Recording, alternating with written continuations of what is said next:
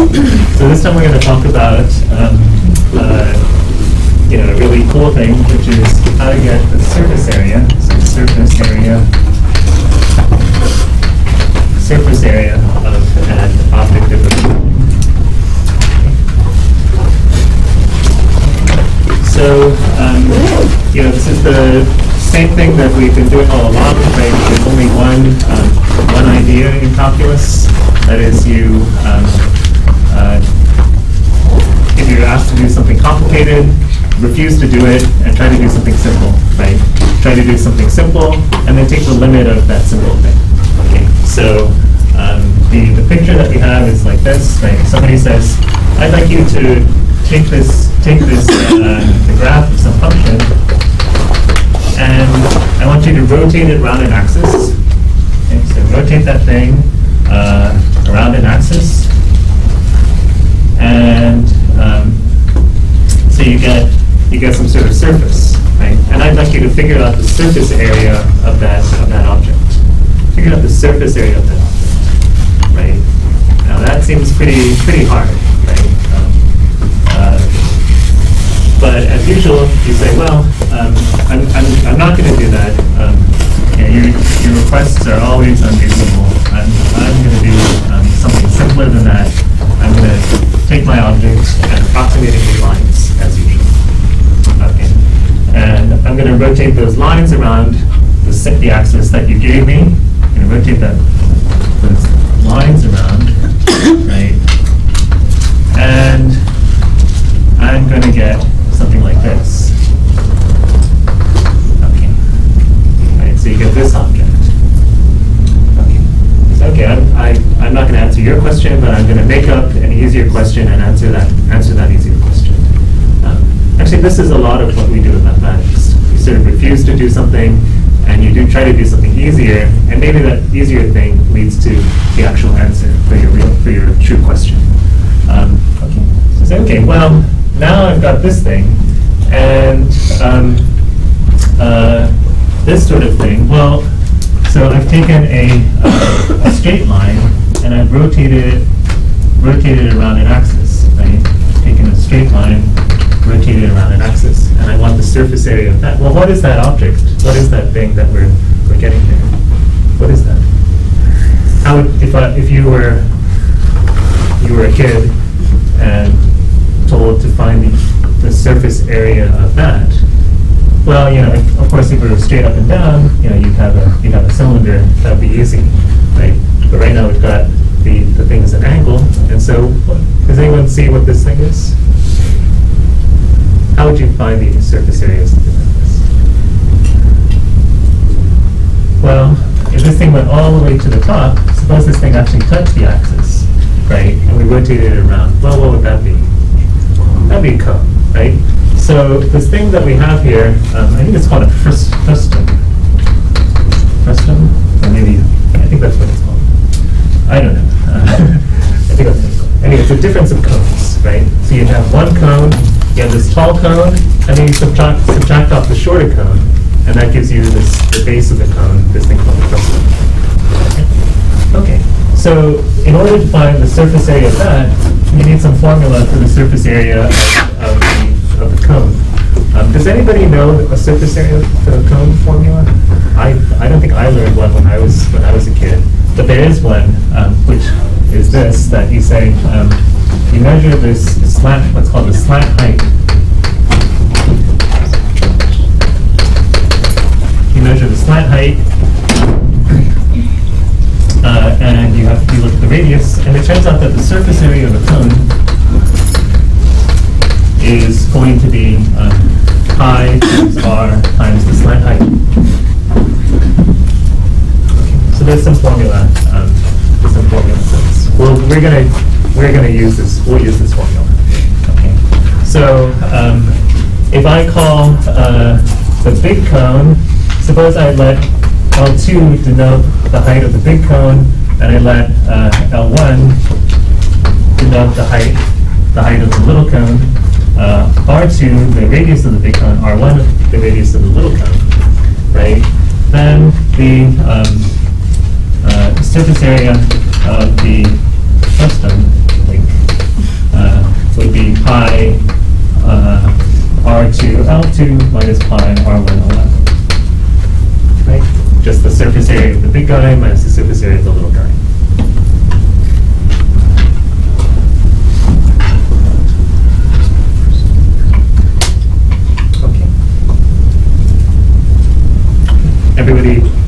Everybody okay with that? Everybody okay?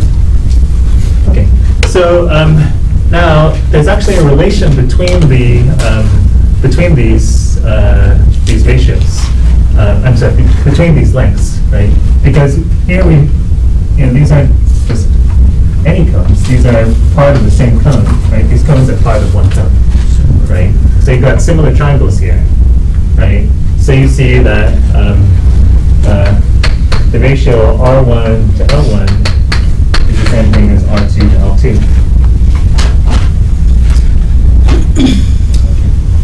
And we'll use this observation to simplify uh, our expression for the, for the, for the surface area. Okay.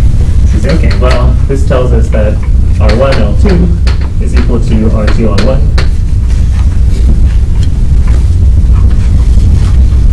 Right? So um, I'm going to take my surface area formula.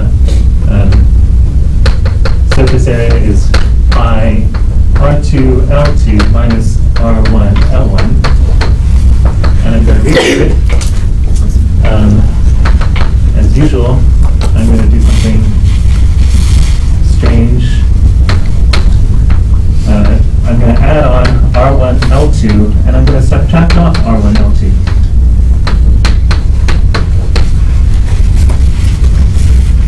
So I throw a zero, it's always okay to add zero. Just like it's always okay to multiply by one, it's always okay to add zero.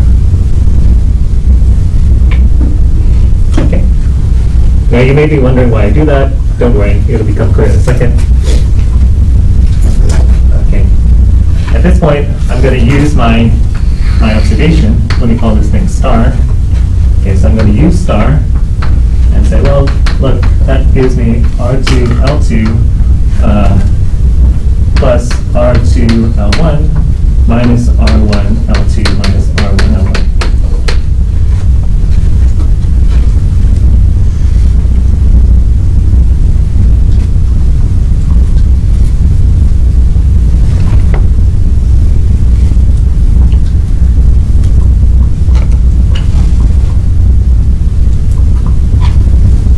Okay? Okay, we haven't done anything other than just some arithmetic, so I'm going to assume that everyone's all right. Um, and at this point, we say, okay, now let's um, factor out an R2 from the first two terms. We get R2 times L2 plus L1. We factor out an R1 from the second two terms. We get R1 times uh, uh, negative L2 minus L1, right? So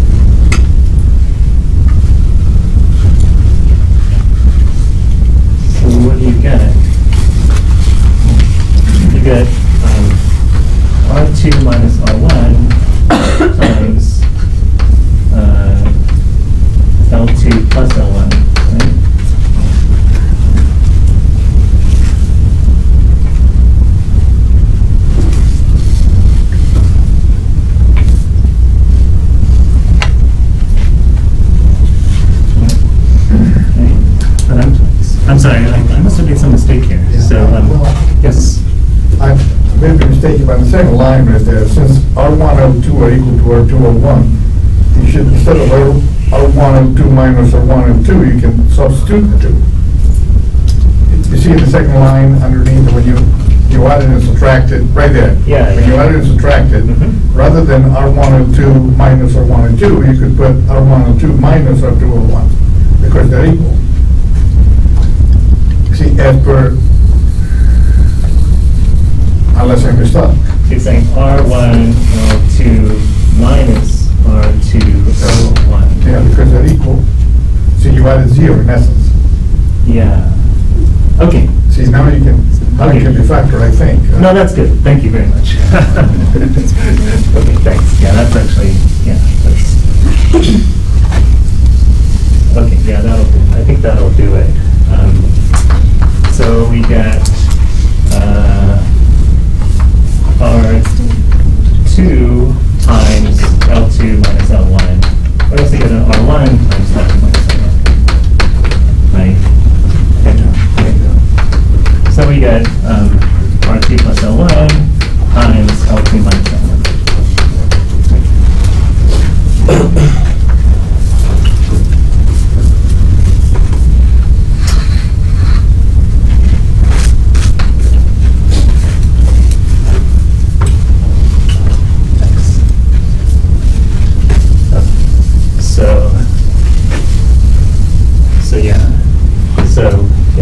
we needed to add in a zero here, but it wasn't the zero that I thought it was. It was a different zero. Yes? On the bottom line, is it R2 plus, is, does it say now R1 plus R1? It says, oops, it should be R2 plus R1, right? But you, you distribute out, right? So you get R2 plus R1, sorry, times L2 minus R1.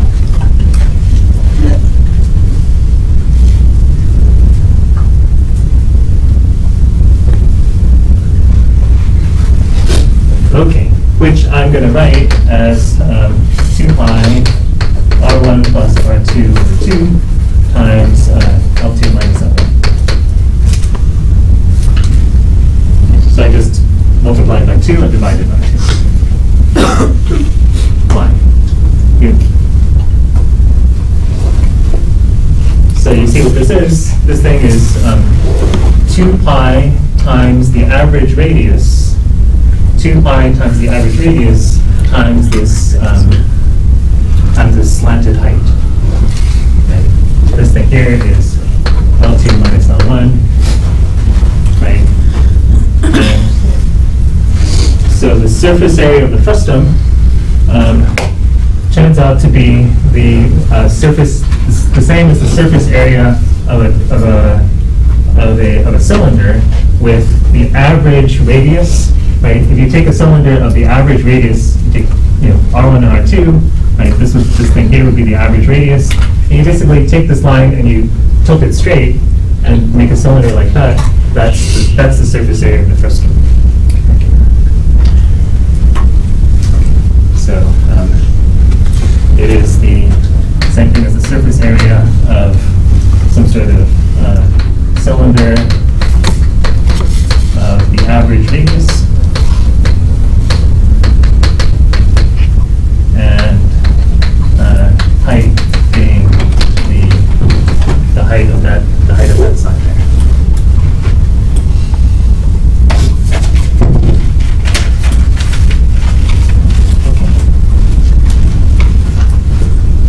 Okay, everybody okay? Um, Okay, so let's use that to, uh, to, to get the, uh, the formula for the surface area in general, right? So um, if we have something like this, and uh, this is A and this is B, this is the graph of some function. As usual, we're going to do our partition game, so we say x0, x1, x2, dot, dot, dot, dot, dot, xn minus 1, xn, right? And um, you take, you take these, uh, take these things and then you rotate them, right? So um, take a minute and write down the, uh, uh, suppose you look at the xk minus one, xk piece here, right? What would be, write down the, write down the formula for the surface area of vector.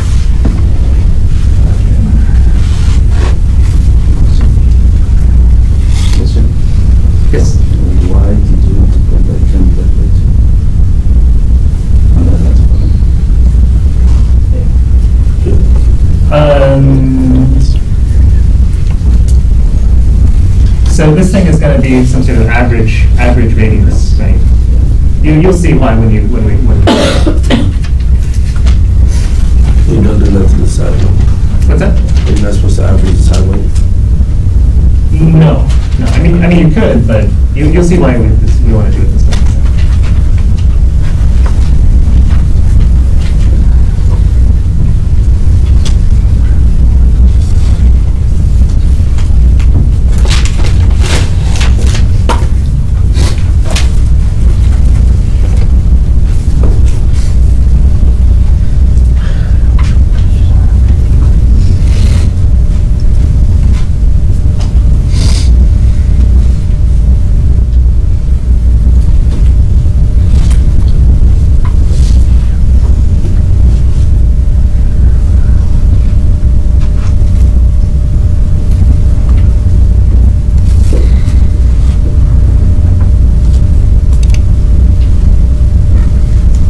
Okay, talk to somebody nearby.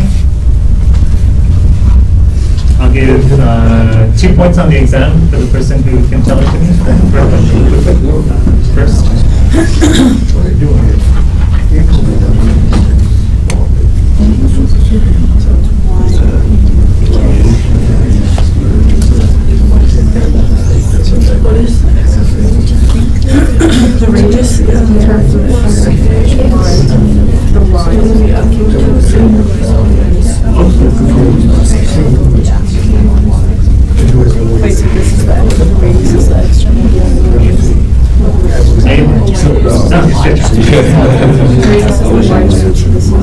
is. You wish you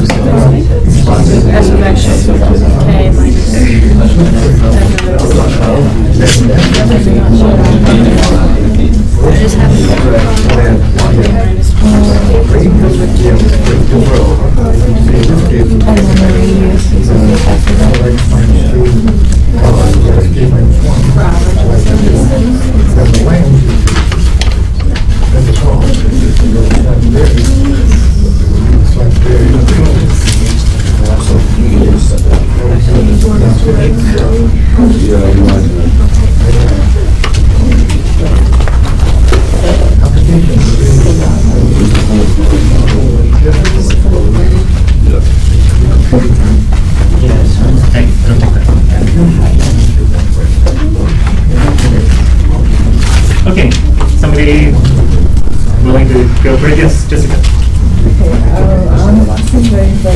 Two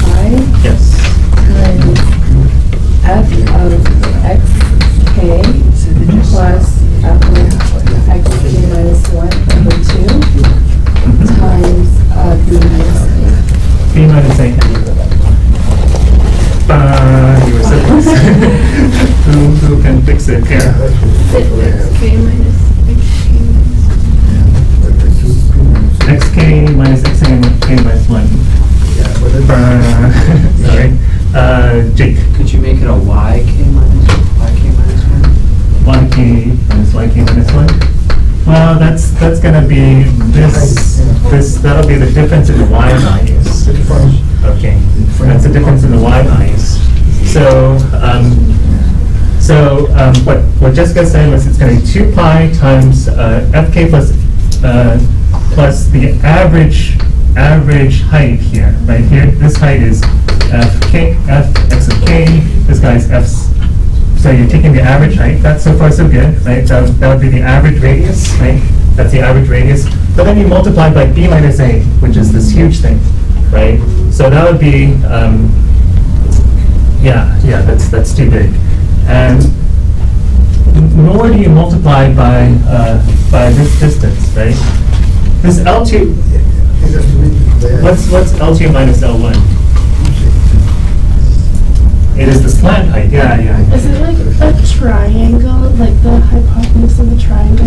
Yes. So you would do like the square root of Yes. xk minus, or, yeah, xk minus x minus one squared plus, um, f of x. Exactly. F of x, Exactly. k minus one squared. Yeah. A lot of. Yes, yes, exactly. Great. Actually, I'll give you one of the points. Okay, so yeah, so you need this, you need this, this length here, right? Well, you just use the distance formula, right? Use the distance formula. It's gonna be, this, this point here is x of k minus one, f of x of k minus one.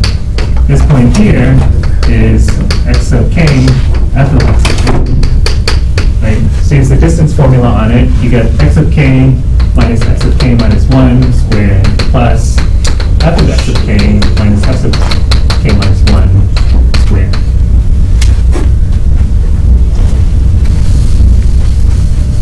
Okay, so that is the, uh, that is the area of the kth, uh, the kth frustum, the surface area of the kth frustum, right? And you add them all from k equals 1, from k equals 1 to n. Okay. And that would be your, your approximate answer, right? That would be your approximate answer. And then, as usual, you say, okay, let n go to infinity. Explain the, the distance from nothing, yeah. Uh, well, you know, if you've got points, um, uh, x1, y1, and x2, y2, right? What's the distance between them? What's the distance between them? Right? There's something called the distance formula, saying that you get x1 minus x2 squared plus y1 minus y2, y1 minus y2 squared. Okay, And then the graph for like flipping it over the x-axis. And that's how you see like the radius. Yeah, yeah. So we're taking this thing and we're spinning it around the x-axis, right? And so you've got um, one radius here, right? And you've got another, you've got the bigger radius here, right? Just like in our picture. We had this, we had this sort of thing. We had a smaller radius and we had a bigger radius. I just turned it sideways. Okay. Other, other questions? Other questions? Okay, so we let n go to infinity, but before we do that, we play the trick that we did before, right? We're going to multiply by, we're going to let delta x be um, the distance between subsequent points, right? So let delta x be b minus a over n, right? And we're going to slide that into here, right? This is going to be delta x squared. We slide in a delta x squared here, right? So multiply, again, we multiply by 1. This delta x is, of course, uh, xk minus xk minus 1. Right? The distance between subsequent points. Okay. Then as n goes to infinity, we, uh, we notice that this thing is a Riemann sum for the integral from a to b of 2 pi, well, what's going to happen to this thing? f of x, as n goes to infinity, f sub, f of x sub k plus f, if you take the averages of these guys over 2, right? And we let the points get arbitrarily close to each other, what's going to happen to them in the end? You get basically f of x plus f of x over 2, right? So that'll be f of x, right? And then this thing, we've seen this before, right? This is 1, right? We get 1 squared plus this guy we saw before. Remember, remember what it turns into? The, this, it is the slope, and then in the limit, it turns into the, the derivative, right? So we get the square root of 1 plus f prime squared dx. Okay, and that's the formula for this episode.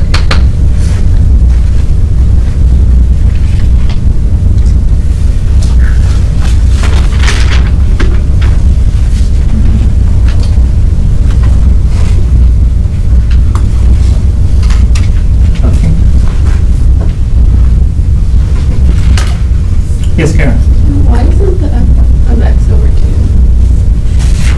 Because we have two f of x's over 2, right? We, have, we end up with f of x plus f of x over 2. So it becomes 1 f of x.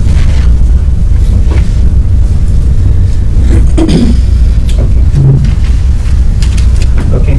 Um, so that's that's when we have that is uh, that's the surface area. I should write this out. If this is surface area of surface area of the graph of uh, f of x, graph of f of x uh,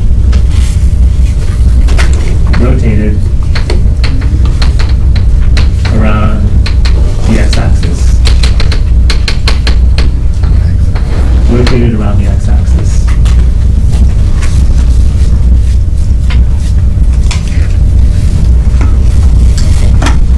This, this term here, really what it is, is the distance to the axis, right? Distance to the axis. So if we change the axis, like if we drop the axis to y equals negative 1, then we have to have like 1 plus f of x, right?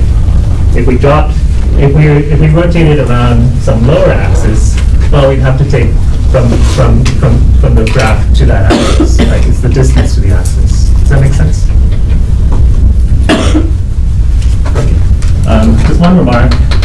Uh, if you do it the opposite way for the graph of some function of y around the um, around the y-axis, you get you know, the corresponding formulas. Right? It would be um, two. Uh, 2 pi uh, gy square root 1 plus g prime y squared d1. So you just have something, you just have the analogous formula.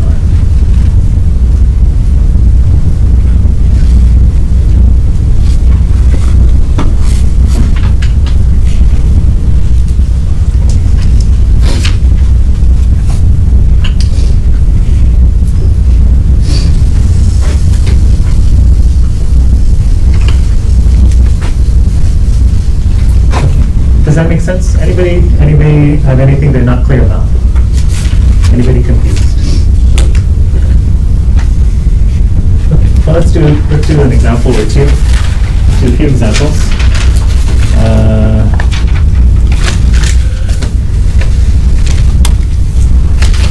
Okay, so here's a simple one.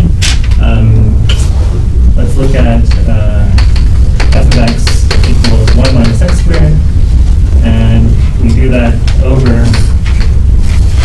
as x goes from 0 to 1, and rotate it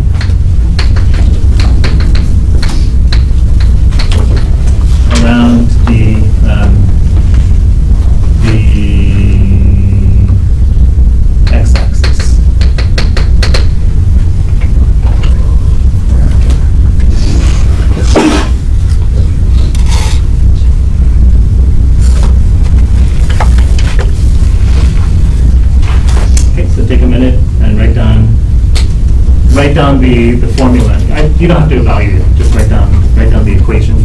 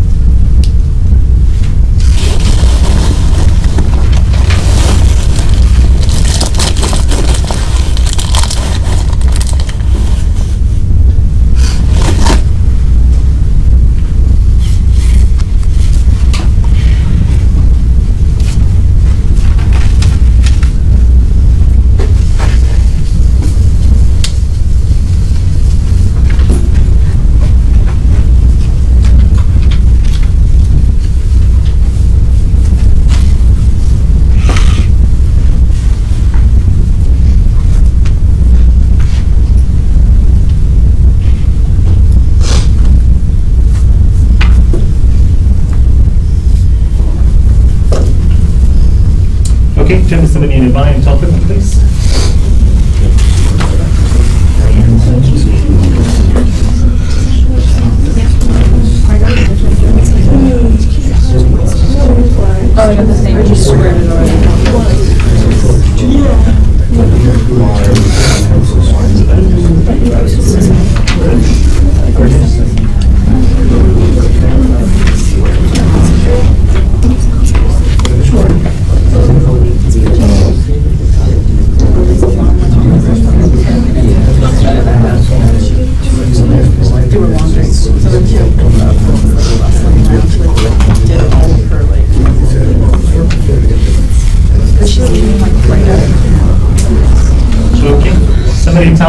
What I should, what I should write. What will be the sentence? What's that? Um, integral from one to four Integral from one to four? of two pi uh, rad y uh, times uh, radical one plus one over two rad y squared. Quantity squared, sorry, yeah. Uh, dy. Great, perfect. Right. Everybody okay with that? Great. Right, because you say, well, look, um, if I, um, I'm gonna take this, I'm gonna take this little, little arc here. I'm gonna take this little arc here and I'm gonna rotate it around, right? So, um, so my radius, uh, my radius is going to be my x value, right? But my x value is the square root of y, right? My x value is the square root of y, because at this height y, my x value is the square root of x, because the line, this, this thing is y equals x squared, right? So that, so this is my, um, this is my x value, right? And then, um, uh, I need to multiply by this, you know, one plus, uh, g prime y squared, square rooted, right? So you take the, um, you take the derivative, uh, right, your function is root of y, and then you, you take the, the derivative of that, it's gonna be, uh, one over two square roots of y, right? So you get, the- you get this thing, right? So one plus g prime, this is your g prime y, g prime y, and then your square. Everybody on that? Yes, Chandler? Could we have um, solved this using like, a method of disks or something, just subtracting different like intervals? Is that also possible? Mm, Method of disks is for a volume, right? Uh. It's not gonna work, not gonna work for this, because we're, wa- we only want the area of that outer edge there. We want the surface area of the outer edge. It's like, if I say, what's the surface area of a sphere, right, you're not gonna get it by method of disks, right? That would okay. give you the volume of the sphere, volume of the ball, right?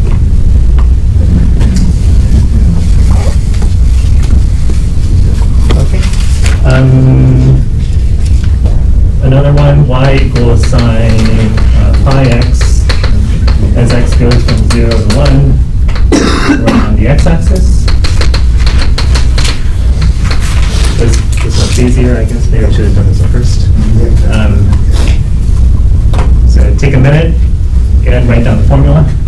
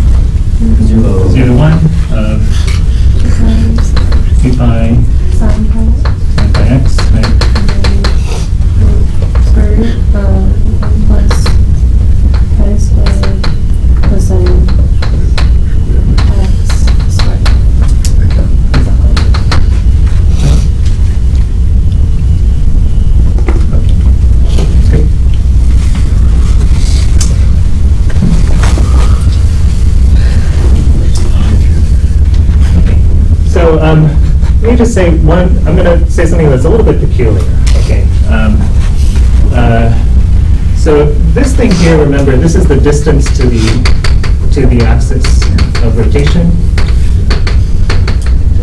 Right? This thing here basically represents the, um, this thing here is the, uh, uh, this,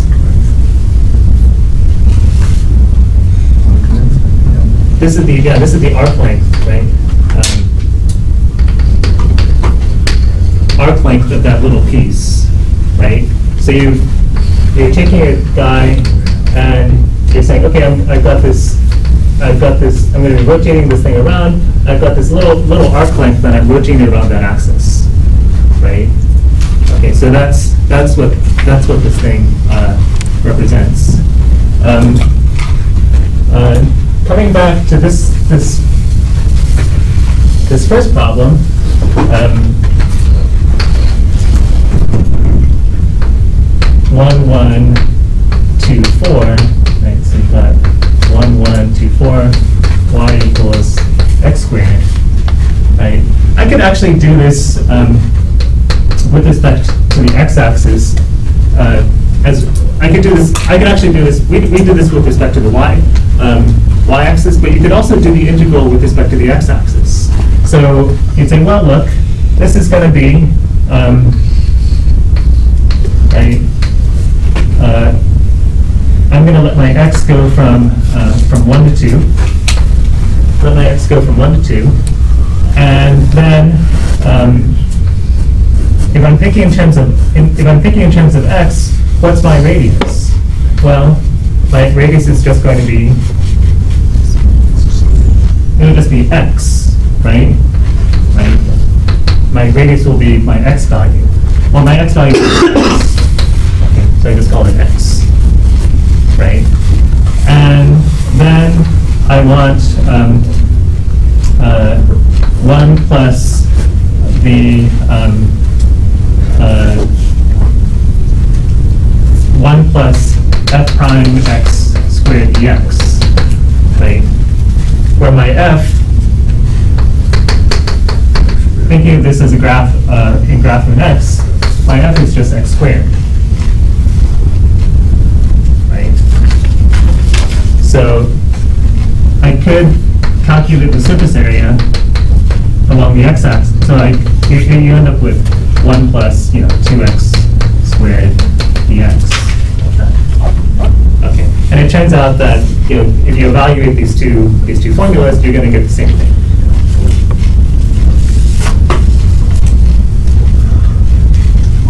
Okay, so, um, uh,